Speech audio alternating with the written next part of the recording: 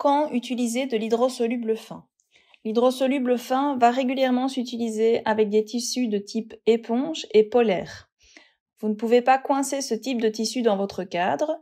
Utilisez donc du filmoplast que vous fixez seul dans votre cadre. Vous allez donc devoir bien tendre votre filmoplast et venir couper la couche supérieure, donc la couche quadrillée, à l'aide d'une épingle.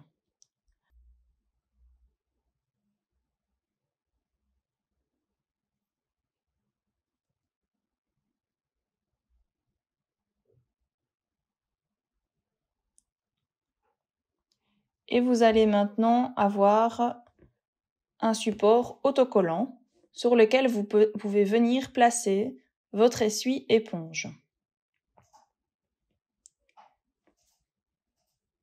Vous allez pouvoir maintenant découper un morceau d'hydrosoluble de la taille de votre broderie et le placer sur votre tissu éponge ou votre tissu polaire. Cela évitera que la broderie se perde dans euh, la matière. Fixez éventuellement l'hydrosoluble avec une ou deux épingles et vous pouvez broder. Une fois la broderie réalisée, retirez le filmoplast à l'arrière. C'est un produit qui est déchirable. Les résidus partiront au lavage.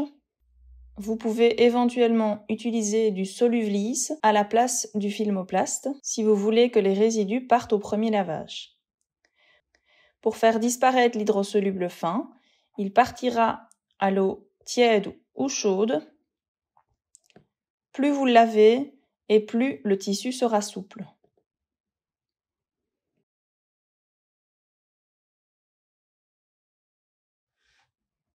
Et voilà votre broderie terminée.